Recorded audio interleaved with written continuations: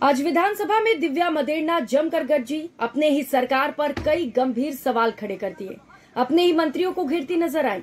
उन्होंने कहा कि हमारे मंत्री जिद्दी हैं। खासतौर पर उनका निशाना था मंत्री शांति धारीवाल पर। ओसिया सड़क निर्माण को लेकर उन्होंने कहा कि अगर चौवालीस सड़क का निर्माण कार्य नहीं किया जाता है तो वो भी वीरांगनाओं की तरह मुँह में घास लेकर धरने पर बैठ जाएँगी। और अगर हिम्मत है तो कोई उन्हें उठाकर दिखाए।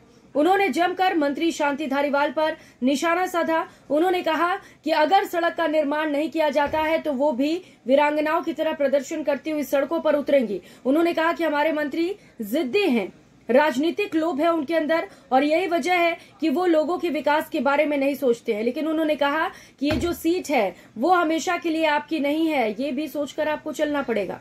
नमस्कार।